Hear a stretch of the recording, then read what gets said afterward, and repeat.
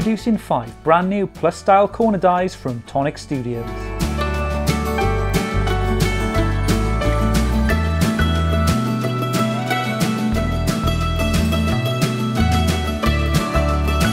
Each set contains two elegant dies, a decorative corner die and a plus style base die.